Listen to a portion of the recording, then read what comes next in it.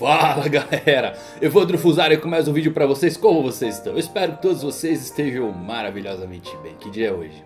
É aquele dia mais aleatório, dia de malhar, dia de mandar um Eurotreino, dia de ficar na maromba e o dia do SBS As perguntas feitas por vocês, respondidas por quem não tem gabarito nenhum. Quer mandar tua perguntinha pra aparecer aqui? Muito fácil, os links estão aí na descrição, manda pra comunidade aqui do YouTube. E outro manda ali pro meu Instagram. Tem posts, é só você deixar sua pergunta aí nesse post pra ela aparecer aqui. Então bora lá tirar essas dúvidas duvidosas.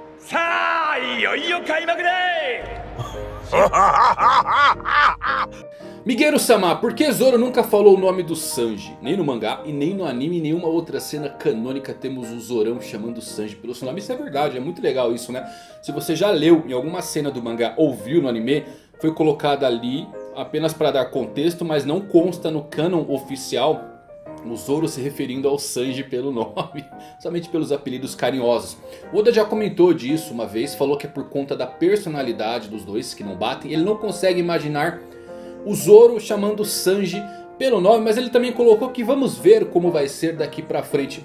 E eu posso ver uma cena no final de toda a série, realmente quando eles estiverem felizes e os dois amigos interagindo de uma forma mais amigos, né? Forma amigável, vamos colocar assim. Mas seria muito legal se no final eles tocassem a mão, se cumprimentassem e chamassem pelos seus nomes. Acho que o Oda pode preparar uma surpresa, porque isso levantaria muito a fandom, né? Tem sempre essa divisão que eu simplesmente odeio de Zoro versus Sanji. Eu gosto dos dois, apesar de brincar também com os dois, com o Zoro Sola e o Sanji Sola. Eu simplesmente odeio qualquer tipo de divisão que é criado na fandom de um personagem ser melhor que o outro. Eu gosto de todos os chapéus de palha.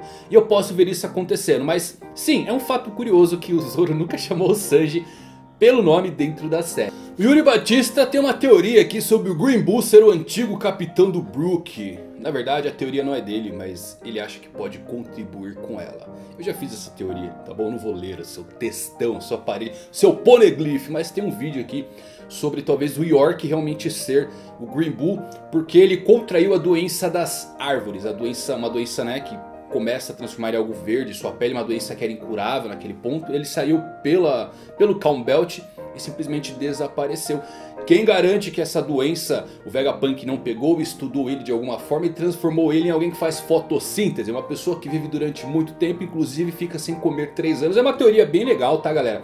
vou deixar o vídeo aqui no card, assiste porque inclusive o Oda desenhou o ator, o ator que possivelmente vai inspirar aparição do Almirante Green Bull. Vocês sabem que Kizaru, Aokiji e o Akainu são inspirados em atores da vida real. E não seria diferente com Fujitora, que é inspirado em Zatoshi, um dos melhores filmes de samurai, recomendo você assistir. E o reboot também vai ser. E o Oda já desenhou em uma capa de One Piece, então vou deixar esse vídeo aqui para vocês, se quiserem conhecer um pouquinho dessa teoria do York ser o Green Bull. E também para verem quem pode ser aí realmente o ator que inspire o visual do Almirante Vaca Verde quando ele aparecer, tá bom? O Lucas Gaut perguntou se existe possibilidade de Hunter x Hunter voltar a ter um novo capítulo ainda esse ano. Eu acho legal a resposta, a galera gosta de responder as perguntas, né? O cara colocou assim, não faz esse tipo de pergunta, que falta de respeito. Hunter x Hunter voltar esse ano? Torço o dedo, sempre torço pro melhor que volte. Pode ser, né? São dois anos aí de ato. Se não voltar esse ano, eu acho que realmente é prego no caixão. Eu acho que o Togashi não continua com a série. Se não voltar esse ano, acho muito difícil continuar. Talvez ele esteja trabalhando em capítulos para entregar uma leva e poder ficar mais 5 anos descansando as suas costas. Que firula isso daí. Togashi não quer fazer porque ele não está no feeling, tá galera? Se ele quisesse mesmo, ele poderia simplesmente roteirizar e outra pessoa desenhar para ele. Mas como ele disse, ele acha que os fãs querem ver a arte dele aparecendo. Togashi tá sem feeling, é exatamente isso.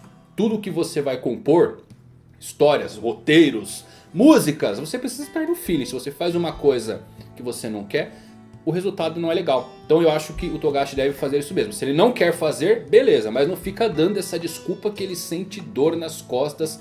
Isso aconteceu há muito tempo e ninguém sente dor nas costas por tanto tempo que não consiga fazer mais nada na sua vida. Tá bom?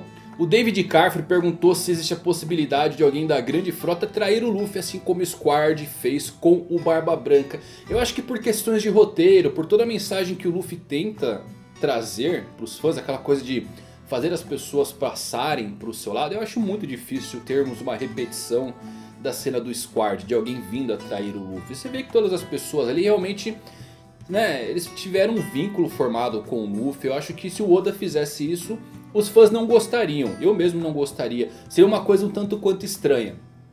A mensagem que o Luffy passa é diferente. Se fosse uma série com um tema um pouco mais adulto, beirando ali o Seinen, aí sim, traições com o protagonista poderiam ocorrer. Se houver qualquer traição com o Luffy, talvez pode ser com o Lau mas nem porque o Lau quer, talvez, sei lá, a irmã do Lau ainda está viva, alguém está usando ela de refém. Não vimos o corpo da irmã do Lau e vocês sabem, não tem corpo, não tem morto. Então se o Lau vier atrair por qualquer coisa, qualquer vínculo que ele tenha com a Sword, com a Marinha, aquelas coisas com o Kobe, vai ser a contragosto. O Lau ainda é amigo do Luffy vai acabar ficando do lado dele até o final da série. Mas traições como do Squad e apunhalar mesmo, eu acho muito difícil por questões de roteiro, tá? Kaido do Sem Reféns, que sempre manda umas perguntas bem legais aqui, perguntou por que o Enel não tem asas. Você já se perguntou por que o Enel não tem asas, mesmo sabendo que todas as três raças, Xandorias, Skypians e os Birkans, possuem asas, mas o Enel não. E por quê? Não sabemos, o Oda não explicou. Na minha simples visão de um fã que assiste a série, ele arrancou as suas asas e colocou aquele anel porque quem tem asas são anjos e Enel é um deus. Então ele transcendeu quando ele arrancou as suas asas e colocou aquele anel da divindade que lembra muito ali o Raidinho, o deus do trovão. Essa seria a resposta que eu posso dar para vocês que eu gosto bastante. Então Enel não é um anjo, ele é um deus. Legal, né?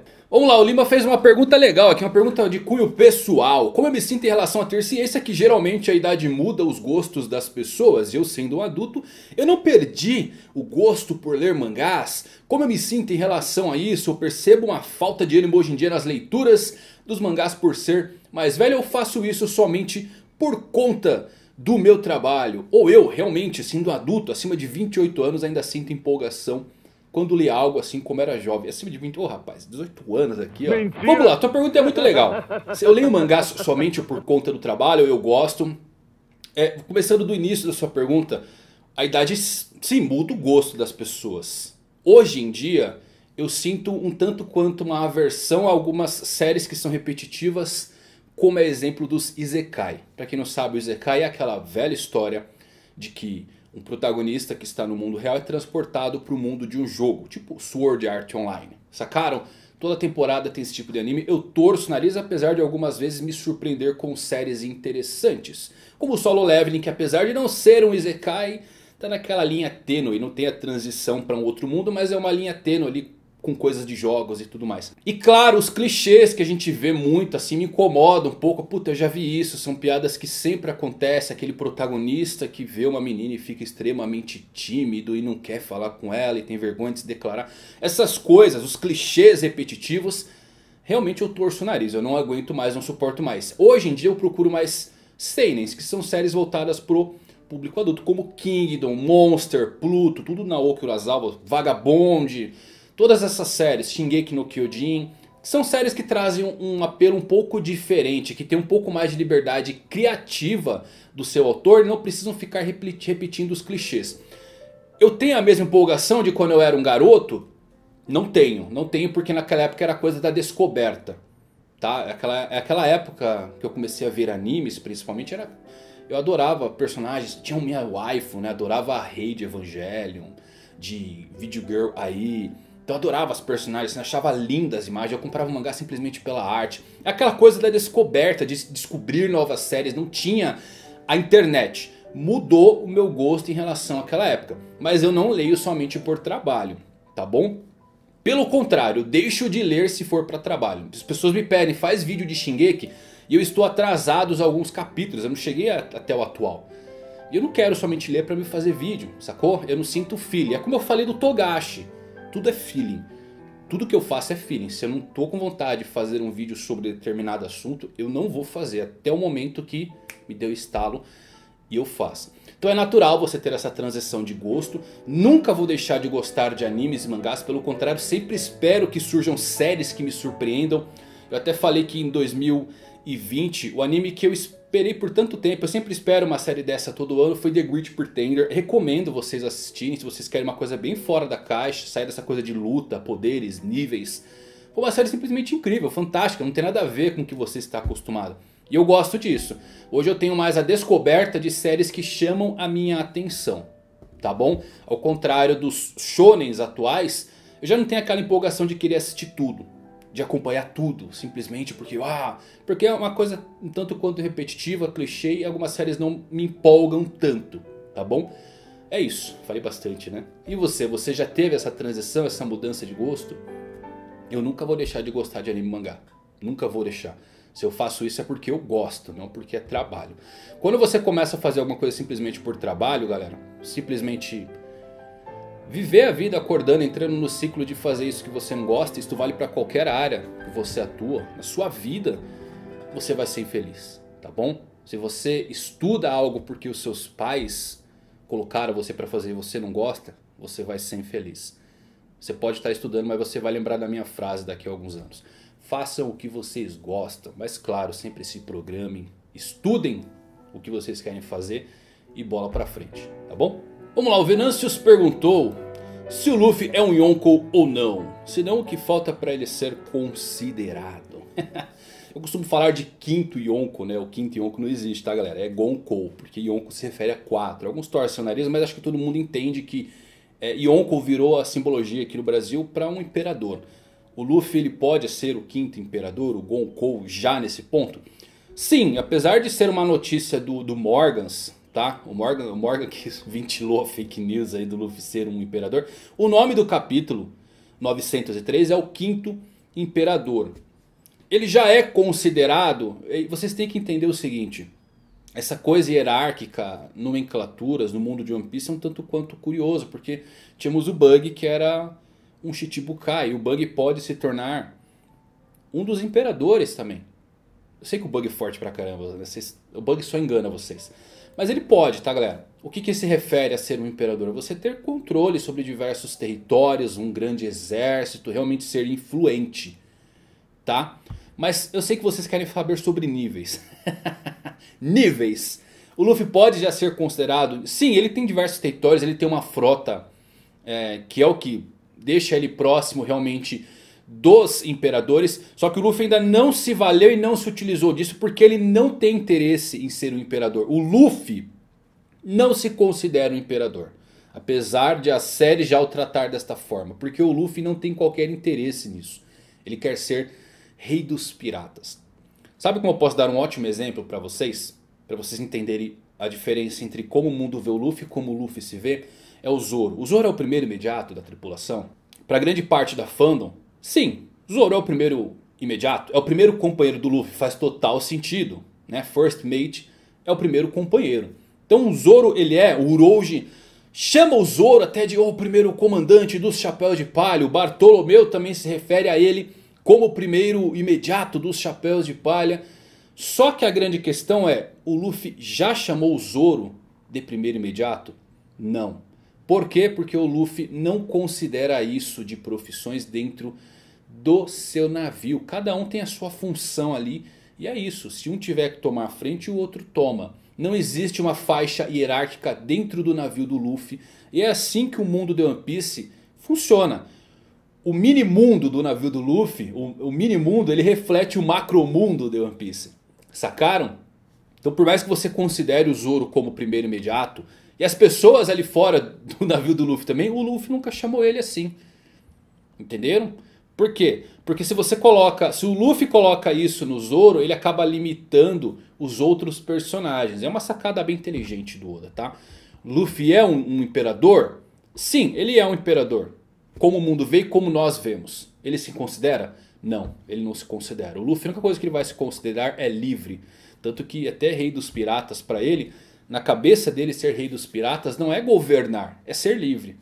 Então temos que sacar mais ou menos o que, que o personagem pensa, o que, que o personagem está querendo é quando se chega nesse título. Sacaram? Então mais ou menos nessa linha. Espero que vocês tenham entendido. Se não, se não ficou confuso demais, Acho que não, né? Se ficou, depois eu faço um vídeo tentando me aprofundar um pouquinho nisso. A visão dos chapéus de palha e a visão do mundo são visões completamente diferentes. Victor fez uma pergunta bem legal. Quem descobriu ou inventou o Haki? Que pergunta legal. Já pararam para pensar quem foi a primeira pessoa a utilizar o Haki no mundo de One Piece? Sabemos que o Haki é uma força inerente de todo ser vivo. Alguns podem despertar simplesmente por um trauma, como foi Kobe. O Sop também conseguiu despertar ali o seu Haki. Então pode ter acontecido com diversas pessoas. Mas claramente isto tem que voltar para algum guerreiro. E quais guerreiros, quais guerreiros mais antigos datados do mundo de One Piece? Eu creio que o mais antigo, se pegarmos a timeline de One Piece, está em Arabasta. Porque o Palácio de Alubarna foi construído 4 mil anos atrás. O calendário de One Piece ele é um tanto quanto diferente. Ele é dividido em idade do Círculo do Mar, que é ali onde o Mont Blanc utilizava para o seu calendário. E a idade do Paraíso. Essa idade do Paraíso é onde a Nico Robin leu o poliglife da tumba dos reis e essa idade do paraíso parece que está diretamente antes da idade do, do século perdido. Né? Porque se o palácio de Alubarma data de 4 mil anos atrás, temos coisas bem legais. A primeira menção da conquista de Arabasta acontece no ano 239 desta Idade do Céu. Para quem não sabe, a timeline de One Piece começa exatamente 5 mil anos atrás, tá galera? A árvore do conhecimento foi plantada pelo antigo povo Deu rara, né? A única informação que temos a mais antiga. Então esse, esse 239 da Idade do Céu provavelmente aconteceu cerca aí de 4.800 anos atrás. E o primeiro guerreiro aqui que é citado, que é o, o, o Kahira. Kahira conquistou Arabasta no ano de 239 da Idade do Céu. Quem garante que esse não foi o primeiro usuário de Haki que descobriu? Né? Eu acho que é o primeiro herói, herói citado, herói, conquistador citado, Kahira. Para quem quiser ver um pouquinho mais disso, é o capítulo 203, onde a Nico Robin cita essa pequena timeline da conquista ali do povo de Arabasta. Tá bom? Esse Kahira não tem nada a ver com os Nefertari, foi ele quem conquistou esse lugar. E 4 mil anos atrás foi construído o palácio onde os Nefertari residem hoje. Olha aí que legal, será que esse é o primeiro usuário aqui do mundo do One eu simplesmente puxei aqui a pessoa conquistadora mais antiga que eu consegui localizar. Mas pode ser sim esse personagem ligado diretamente aos guerreiros de Arabasta. O Conquistador Kahira. O Adelson Júnior perguntou se o Lau venceria o Vergo sem o poder da Ope Ope no Mi. Não, não venceria não. Tá bom? O Lau enfrentou o Vergo antes, acabou derrotado por conta daquele Haki poderoso. Como é que o Lau conseguiu cortar o Vergo lá em Punk Hazard? foi a soma do seu haki com o seu fruto. Somente o seu haki ainda não seria suficiente. Tá bom? É isso que você torna você mais poderoso com alguém que tem um haki bruto, poderoso como o Vergo. Você tem que somar as coisas. Então, o seu haki, que estava próximo ali do Vergo, mas ainda inferior, somado com o poder do fruto, 2 contra 1, um, você tem o resultado de até montanhas sendo cortadas. Mas sem o fruto, o Lau teria que treinar mais um pouquinho. Jean Felipe perguntou, o Barba Negra com o mesmo poder que o Kaido, quanto tempo ele alcançaria o One Piece? É uma pergunta curiosa, porque o Barba Negra com o poder do Kaido não faria tanta diferença. Os poderes recentes que ele tem agora da Yami e da Gura Gura, ele está praticamente no mar aí ao mesmo tempo que o Luffy. Então a jornada do Barba Negra vai ser como a do Luffy. Dois, três anos ali de jornada para conseguir alcançar One Piece. Coisa que esses monstros estão há anos tentando fazer, juntar os poneglyphs. Não é questão de poder, tá galera? Por que, o Barba Negra se destaca? Porque ele é um estudioso, ele é um cara inteligente, ele está sempre um passo à frente de todo mundo. Quando a pessoa pensa em fazer alguma coisa, Barba Negra já está antecipando tudo isso. Visto a grande frase dele, vamos capturar aquilo antes que a marinha coloque suas mãos. O que que é? É Pluton? São os Chichibukais? É a fruta do Sabo? Sacaram? Ele já está se antecipando. Então não é questão dele ter o poder do Kaido. Que eu acho que não faria diferença nenhuma. Porque o Barba Negra tem toda a sua preparação para alcançar os seus objetivos. Ao contrário do Kaido que é simplesmente quer conquistar as coisas na base da brutalidade, da força. Tendo um grande exército. E não é isso que se faz necessário. Visto também o Luffy. Que tem a sua tripulação pequena. E onde, olha onde ele já está. Considerado um imperador. Lutando é, quase de igual contra esses monstros. Fato curioso, que eu acho que seria simplesmente incrível, épico pro Barba Negra, a gente pense e viabiliza talvez a possibilidade do Barba Negra atacar Holy Cake para pegar o Poneglyph da Big Mom. Eu acho que é uma possibilidade legal, roubar Purim para ler esse Road Poneglyph. Imagine se Big Mom abandona Kaido, tem que voltar para o seu território que está sendo atacado por outro imperador. Só que pensem na possibilidade de Big Mom ser derrotada por Barba Negra, o quão fantástico isto seria. E tem uma grande probabilidade disso acontecer. Veja o Marco. O Marco peitou três almirantes. O Marco lutou contra duas calamidades. Está lutando contra duas calamidades apesar de se cansar. Está indo bem. Ele pode ser derrotado? Pode, mas ele está indo muito bem. Um cara contra duas calamidades ou contra três almirantes no meio de uma guerra. Ele perdeu para o Barba Negra. E eu duvido que o Barba Negra saiu qualquer arranhão contra o Marco. Então o Barba Negra está um nível muito acima. Ele já tem o que ele precisa para se tornar o rei do mundo. As duas frutas de posse dele. Eu não acho que ele vai tentar pegar a fruta do, do Kaido não. Apesar de ser uma escolha bem legal. Mas acho que ficaria muito overpower e repetição de poderes. Tá bom? Ele tem a Gura Gura por quê? Porque não vimos nada do Barba Branca. Sacou? Então ele não precisa do poder do Kaido para se tornar o rei do mundo. Ele só precisa de inteligência. Mas seria deveras épico para estabelecer definitivamente o Barba Negra como alguém poderoso se ele conseguisse derrotar a Big Mom. Olha só que coisa fantástica. E temos aí o Shanks na jogada também se movimentando. Será que eles vão ter o seu primeiro confronto? Né? Claro que são possibilidades. Pode pegar a fruta do Kaido? Pode. Eu não gostaria que pegasse. Eu, eu, antes, antes eu falar, não, seria muito épico e tal. Mas hoje pensando, cara, não precisa. Ele tem, tem duas frutas tão absurdas, tão poderosas. O Oda vai colocar mais uma fruta tão forte como a do Kaido. Faz sentido ele ter esse poder? Também, na luta contra o Luffy não vai ficar muita coisa? Poucas trancas, que nome.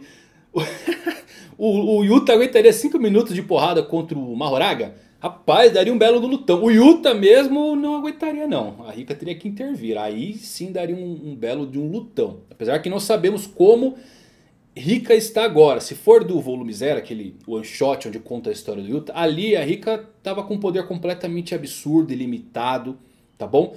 Nesse ponto, Rika voltou e não sabemos como o GG vai colocar os poderes de Rika. Se vai ser aquela coisa ilimitada mesmo ou não. Agora, só o Yuta contra o Mahoraga não dá. Mas com Rika ele faria frente. Rika do do, do volume 0 lá daquele canon, com certeza daria um belo do lutão. Atualmente temos que esperar um pouquinho mais para ver ali como estão os poderes de Yuta e Rika. Então é isso, bastante pergunta respondida meus amigos. Manda a sua aí pra aparecer aqui, não apareceu não fica triste. Me chama no Insta lá pra gente trocar uma ideia. Eu espero que vocês tenham gostado, se divertido. Até o próximo vídeo. Valeu por assistir e fui.